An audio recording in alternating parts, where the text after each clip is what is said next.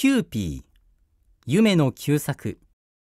アメリカ生まれのキューピーがいなくなったのでおもちゃ箱の中は大変な騒ぎが始まりました。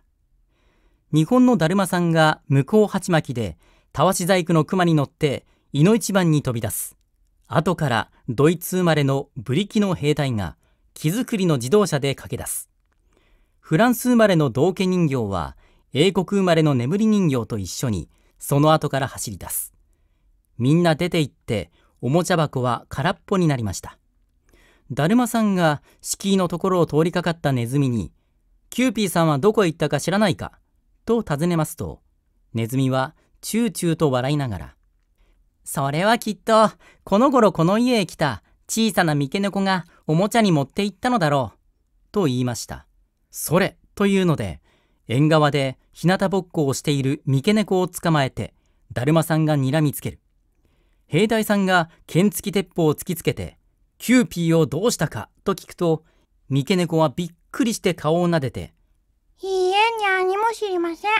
私はお嬢さんの帯だのまりだのはおもちゃにしましたがまだキューピーはおもちゃにしたことはありません。大方それはネズミさんが私をここから追い出すためにそんな悪いことをしたのでしょう。と言いました。みんなはなるほどと気がついてすぐに天井裏へ駆け上がって方々を探しますと隅っこの方でキーキーピーピー鳴く声が聞こえますのでそれと言ってはせつけました。見るとかわいそうにキューピーはお腹も何もぴしゃんこになって青い目を泣き晴らして寝ています。みんなは大喜びで連れて帰って寄ってたかって介抱をして元の通りに膨らましてやりました。